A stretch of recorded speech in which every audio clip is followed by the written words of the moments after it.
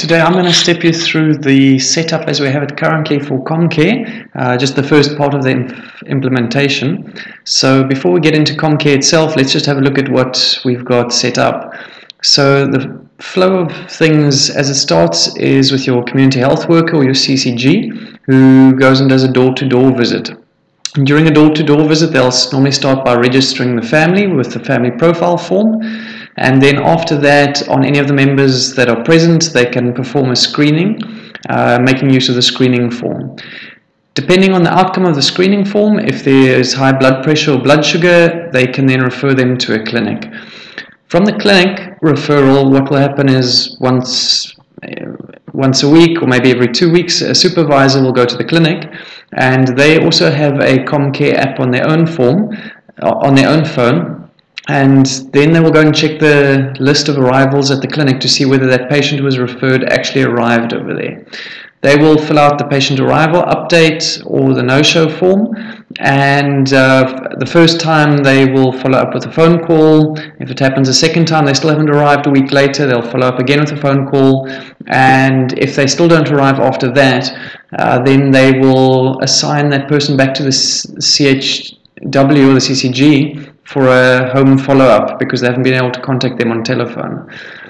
In CommCare, the CHW or CCG will then receive a notification over there. They will see on their list of no-show visits that there's someone that they need to go and visit who hasn't arrived at the clinic. And they will go and find them and fill out a no-show visit form about the reasons why they didn't arrive. What can possibly happen then is if the person is bedridden or there's some other reason why they can't get to the clinic, they have the option of requesting a team visit. And if that is the case, then the person will show up on the list on, at the moment it's in the supervisors app, but we can put that in the CCG's app as well. Uh, it will show up that there are people who are requiring a team visit. And when they go and perform that visit, there will be a team visit form that is filled out. So that's the basic flow of our um, process. Let's go and have a look at what that looks like in the apps itself. So here we are with the HealthRise CHW app and we're logging in as CHW number one with a password. This is what they'll do at the start of the day. So once they're logged in, normally what you'll do is you start off by syncing with the server and make sure that all of the cases are updated on your device and then they will say start. So we have some options over here. We're going to do a screening because we're busy with the home-to-home -home visit. It shows you a list of families over here you can that have already been registered. You can go and search for families if needed, but we know we're going to, we've just arrived at a new family that we haven't been to before, so we're going to say we want to add a new family. So now it opens up the family profile form and we can start filling this out as the CCG. So today we're busy with the door-to-door, -door, not with the campaign. There's certain questions that we will ask or won't ask depending on which is happening. Uh, you can say the GPS position of the dwelling because we're busy with the door-to-door -door over here. So if you click record location, it'll say the GPS point. I'm sitting inside at the moment, so I don't have GPS, so I'm going to skip that one. You'll see it warns the CCG if they don't actually fill it in to make sure it was that a mistake. Please try and capture the GPS position. Then it asks what's the family's surname. So I'm going to say this family is the Anderson family. And we go on. It says what is the address of their house. So we have a GPS location, but maybe there's some other way to describe. Um, so I'm going to say they 33 um, Apple Close or Apple Road.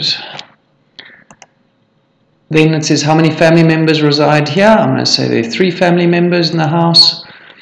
Then it says we're going to add for the first family member, family member number one. So it says what's his the person's first name. So we're going to say this is Andy Anderson. And uh, is his surname Anderson? There may be um, other people living in the same house, but he is in this case. Uh, Andy is male. His date of birth, uh, it's a long time ago, he's not sure. Uh, oh, sorry, he doesn't know what his birthday is.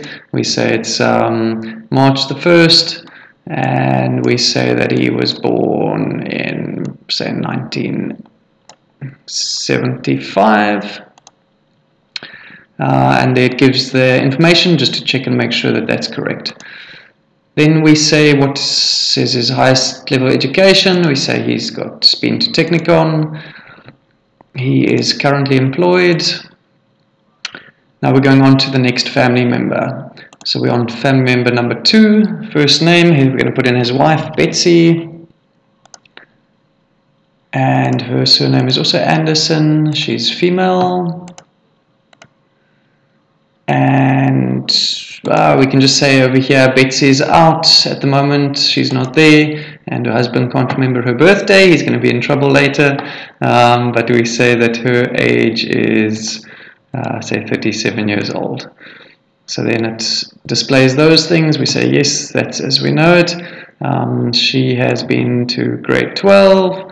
She is currently at home and she is not currently pregnant. You'll see this is only asked of the females. We went to ask that question for Andy. And is she currently breastfeeding? And she's not breastfeeding at the moment. Now we go on to the next family member, number three. This is their son Charles. And we say uh, he's also Anderson. Charles is male. His date of birth, uh, we'll say in this case, his father remembers the date of birth, and we say that he was born uh, in May the 2nd, and he was only born now recently. So we're going to say that he was born in 2015. So he's about a year and a half. So that is the details, and we say that's all right. Then we say, because he's a child, we get some extra questions. So he says, how was he born or delivered? It was a natural birth. Are his immunizations up to date? And they are. And then ask just about the family's employment income. Um, is there anyone who qualifies for a grant? And now the CCG is finished with that form. So now they've captured the information for that family, they can now go and have a look at doing an actual screening for that person. So we're going to go back to the menu and now we're going to go and do a screening. And now you will see that the Anderson family with three family members is on the list. So we can select the Anderson family that says these are the three members. Those are what their ages are. We said Charles is about one and a half. And um, they said do you want to add a new person to this family? Maybe you go back to visit later and there's another family member. Or do we want to screen one of these? And we say Andy's here. We're with him at the moment. So let's do a screening on Andy and they say just check is this the Andy that you're looking for? And we said yeah that is him. And now we can begin to conduct the screening. Okay so let's conduct the screening on Andy. We select conduct a screening checks with us are we busy with a door-to-door -door campaign? We're busy with a door-to-door. -door. and it says you are now screening Andy. Just to check we select the right one. We say to Andy do you have a cell phone number? He says yes he does. And we enter that if you accidentally type in too many digits, we'll get a warning to say uh, that one doesn't look quite right. Please go back and check it again. Then it says, do we want to scan the ID number or the barcode or do we want to fill it in ourselves? So for now, we're just going to fill it in. And we're going to say, I can't remember what year he was born in. I think it was in 75. And he was 2nd of March. And that was his ID number. There are also some checks that are done on that. Um, has he been told before that he has high blood pressure? I'm going to say yes, and he has been told he has blood pressure, but he's not currently on treatment. So we get prompted now to measure his blood pressure, and we see Andy's, Andy's blood pressure is actually a bit high at the moment, and he needs uh, probably needs to have that followed up on. So we're going to check his blood pressure. Then we start looking at blood sugar or diabetes. Uh, we say no, he hasn't been told by anyone before that he has um, diabetes. Um, and now we're going to go and check some of his details. So we're going to say enter his waist. So his waist's okay. He's got 87 centimeters. Um, he has no one in the family who has diabetes risk. Um, he hasn't been diagnosed with TB and so he only has one out of six risk symptoms, so we're not going to do a glucose test on him. Then it says the patient needs to refer to the clinic. please select one for the list. So this is because he has high blood pressure. So if there's more than one clinic in the ward, you can you can select which clinic. In most cases, there will probably be only one or maybe two. So we're going to say we're going to refer him to clinic number one. And then it says, please explain to him how and when to get to the clinic so uh, that Andy knows where he needs to go. So we have finished screening Andy. You'll see in the background over there, it sent up the form and it says form sent to server. If the CCG is connected to the internet, it'll be sent up immediately. Otherwise, later in the day, when they um, connect to the internet again, all of the forms that they've done through the day will be sent up. Let us now go and have a look at the supervisors app because they are going to have to go and do a follow-up at the clinic to check that Andy actually arrived.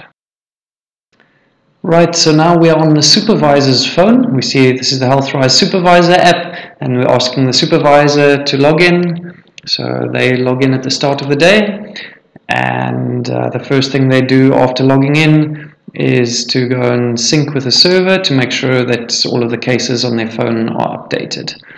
So they're busy doing a sync with the server and then they start and they say the first thing they want to do is they want to go they're on the way to visit the clinic clinic number one and they want to go and uh, check which patients have actually arrived over there.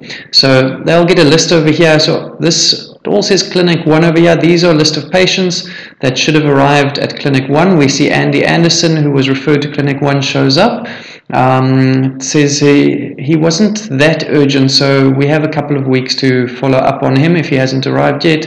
Um, if you have a higher blood pressure that's more dangerous, this will show a lower number, so we know it's urgent to follow up on this person.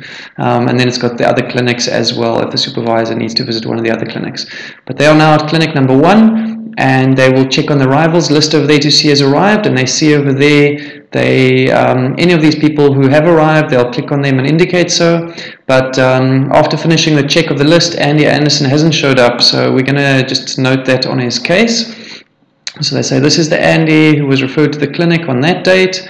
We continue and then we have a short form and we say did Andy Anderson with that ID number arrive at the clinic? No he didn't so why didn't he show up? You'll see this is part of the first call. So a telephone call would have been made to him to follow up.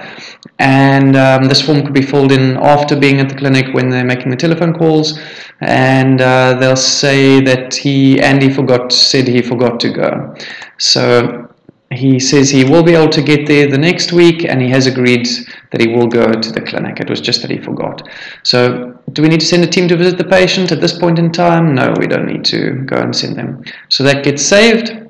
Now, maybe a week later, um, we go and check up at the clinic again. We do a visit over there and we find out that Andy still hasn't showed up at the clinic. Uh, we're not quite sure why, but we do a second call. So first of all, he didn't arrive at the clinic. Now we're busy with our second call because we already called him once before. Uh, this time, Andy says uh, he had transport issues this time. He wasn't able to get there. He will be able to go in the coming week. And uh, he has he agrees, yes, he will be going, so we don't need to send a team to go and visit him. So um, he has now gone a second time um, or said he would go a second time. Our supervisor goes to the clinic again the week afterwards and finds out um, Andy still hasn't arrived. He's got high blood pressure and it's been explained to him, but he hasn't arrived at the clinic. So he hasn't arrived.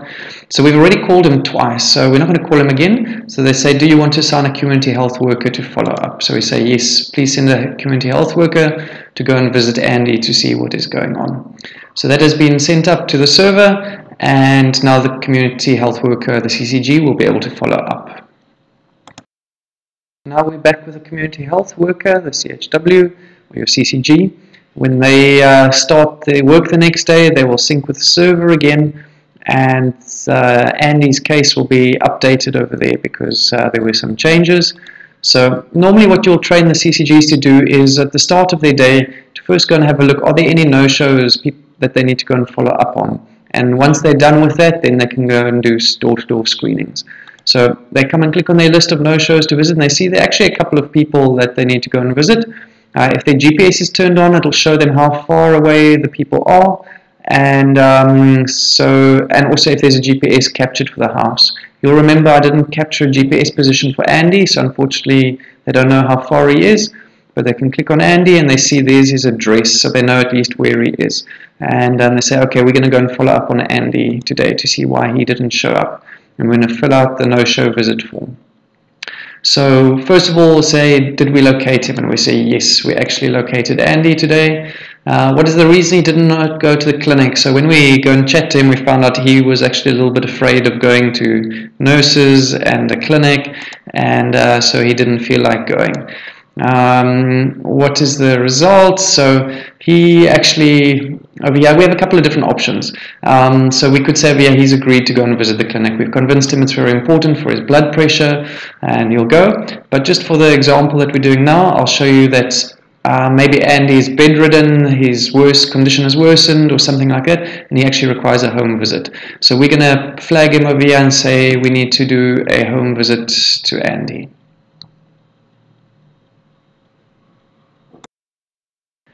Right, so now we're on the supervisors app. Uh, this can be added to the CCG app as well, um, but we want to check if there are any team visits that need to be done.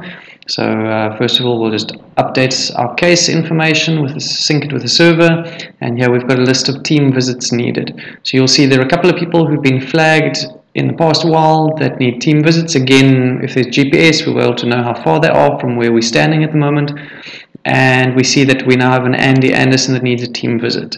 So when we go to go and visit him, you'll see here it also provides a cell phone number if you want to give him a call, um, and also his address over there.